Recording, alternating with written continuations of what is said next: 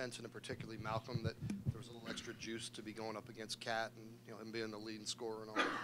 Yeah, I think Malcolm especially takes stuff like that personal.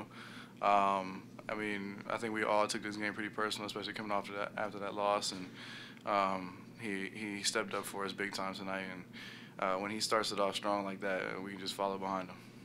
London, you didn't take three uh, against Duke.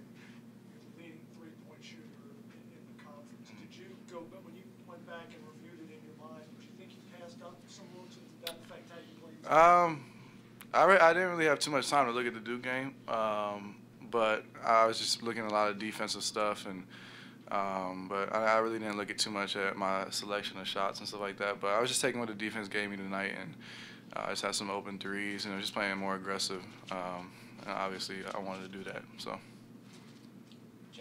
Isaiah, 13 rebounds for you tonight, four more than your previous career high. You do anything different? Got a little greedy in there, didn't you?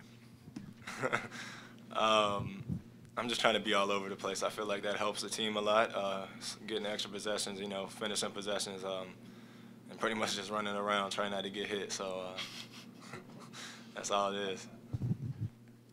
For, for both you guys, how did you guys put that Duke thing just behind you?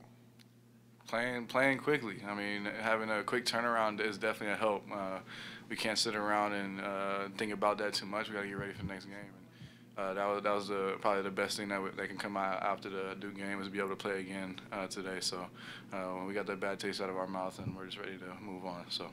Yeah, like uh, like Lund said, this is a, a really deep league, um, and we had a quick turnaround, which I feel like was good for us too. We just had to come out and play hard tonight because it's a really skilled team, really talented team. Defensively, we've been taking steps forward. Uh, I think every single game. Um, obviously, with the loss, we, we felt like we still need to do, do some things differently. Um, but every single game, we want to take a step forward because we know it's getting closer to March, getting closer to postseason, and we want to start playing our best ball. And I, I feel like we're starting to get into that stride, and uh, we just want to keep playing with confidence and keep playing hard. So. Um, I feel like uh, yeah, we're playing a lot of versatile teams and things like that. You know, going on, uh, we play a couple more teams in the ACC, and then it's time for the tournament. Um, and we try to take it one game at a time, at a time, and learn from um, learn from things like this game, but also learn from the past, and try to put ourselves in situations where we can um, always uh, develop. London, th- they go six for six to start the game. What are you thinking during that stretch?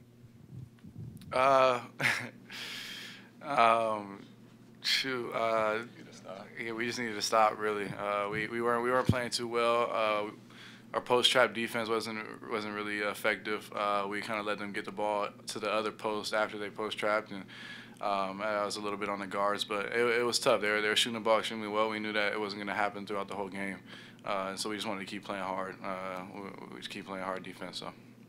Over here to the left. Did you guys know that Justin is coming tonight, and was it kind of fun to have him there courtside? Uh, yeah, we knew he came to practice yesterday.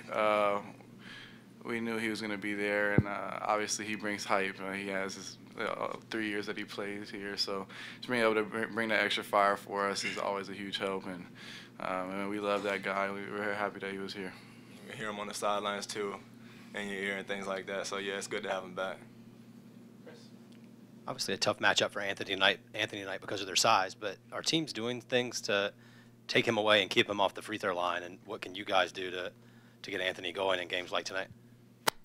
Um, as a as a, another big, I feel like it's my job to try to give him the ball or you know score in space where um, where I can take some pressure off of him so he can get his one-on-one game or some stuff like that. Uh, AG's a really really good basketball player, really good offensive player, and um, you know when he gets going, he's hard to stop. So you know teams are throwing different things at him. Some teams are trapping him, fronting him, and things like that. So just try to give him the ball when we can and let him work.